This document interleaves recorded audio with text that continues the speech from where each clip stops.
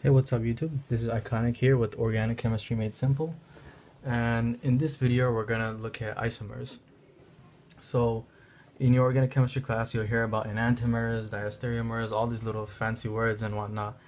And you know, this video, I'll try to explain how to differentiate between this, uh, between enantiomers versus diastereomers versus stereoisomers, and so on and so on.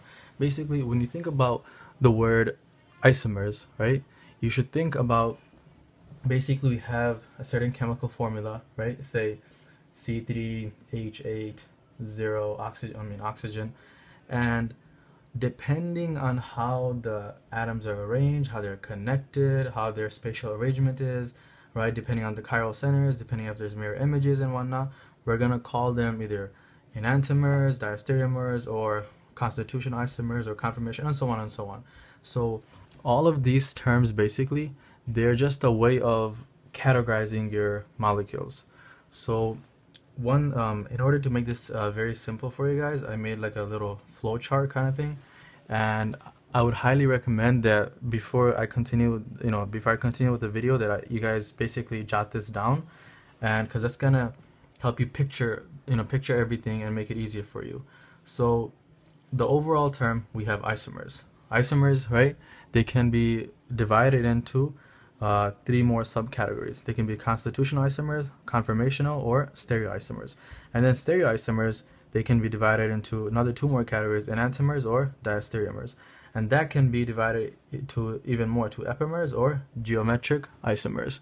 Now, I'm going to go into detail how we can classify our molecules into these different categories. So first, let's go with um, constitutional isomers. So let me just erase all of this.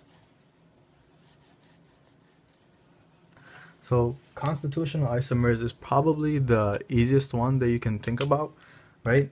Because constitutional isomers is also known as structural structural isomers, right? So, and that kind of, you know, that should give away like what it means is that, so example, we have a chemical formula let's just say we have C3, H8, and oxygen, right? Then from this, we can have several different molecules, right? We can have, let's say we have something that looks like this. We can have something that looks like this, oxygen, and then carbon and then we can have something that also looks like this. There you go. So these all of these would be known as structural isomers. Why we do we call them structural isomers? Because it's simple. You have same formula but completely different connectivity right? You look at all these all of these have three carbons. They all if you count the hydrogens you'll see that they all have eight hydrogens and they all have one oxygen, right? But they all differ in what? In the way they're connected, right? So that's the that's the key point for structural isomers, right? That you have the same formula but different connectivity.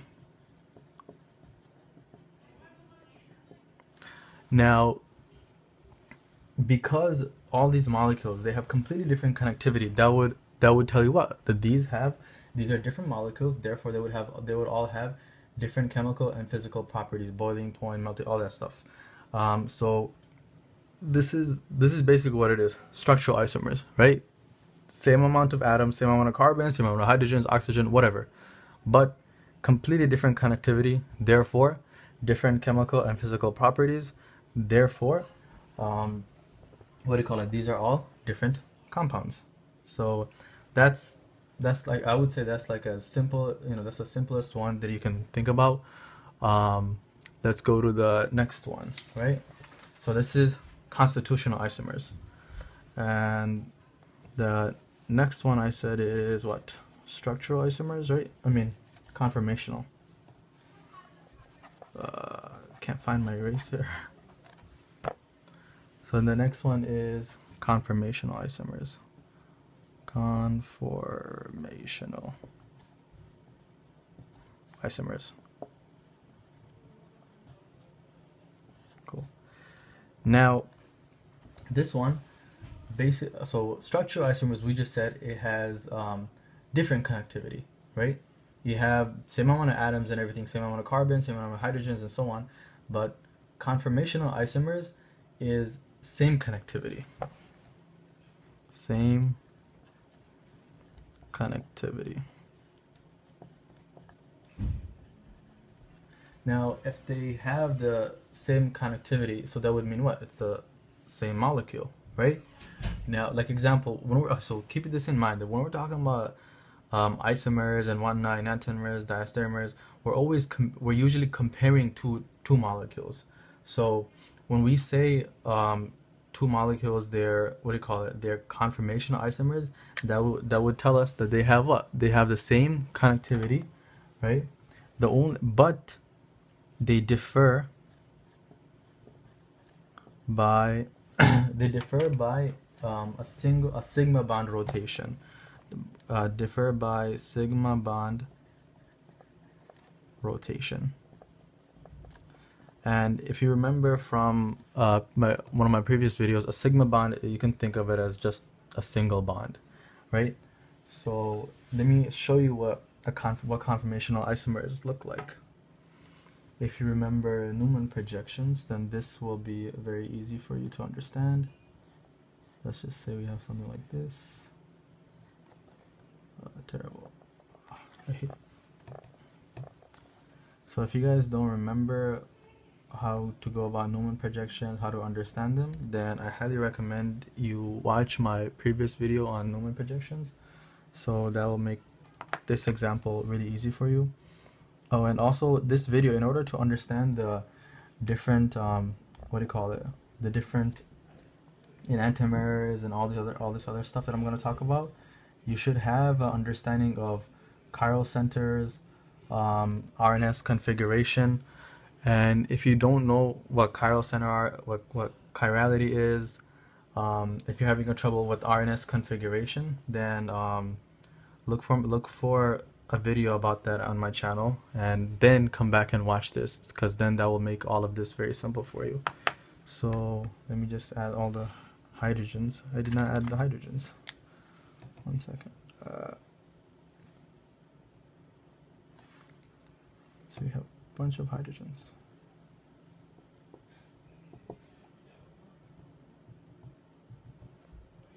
Now, if you know anything about Newman projections, right? One, if you look at these molecules, they have the same amount of carbons, they both have two methyl groups, right? But the only difference between these two is that the bond between the first carbon, so there's this is basically two carbons, right? Two carbons attached one carbon has the methyl group and another carbon has the methyl group. I'm just not gonna draw draw it out, but let's just say something like this, and then something like that, and then a single bond. So basically, this bond, so this molecule that we're working with, right? This is basically the Newman projections. Uh, I mean, the these are Newman projections of this molecule right here, um, and the whole conformational isomers is basically if we rotate this sigma bond, right? This sig this signal, this sing uh, single bond right here. If this is rotated, right, depending on how we rotate this, we can get this, and we can keep rotating it, and we'll get you know different conformations of this. So this is basically what conformational isomers is. Uh, you have these, so these two guys, we will call them conformational isomers. They have the same connectivity, but they differ by a sigma bond rotation, right? You can see how this CH3 that was all the way at the top, right? It was rotated to the right, basically. It was rotated to the right. And now that same CH3, that same methyl group, it is right over here. Um, and that's basically what conformational isomers is. Same connectivity, but the, they differ by a sigma bond rotation or a single bond rotation. Um, that's what that is. So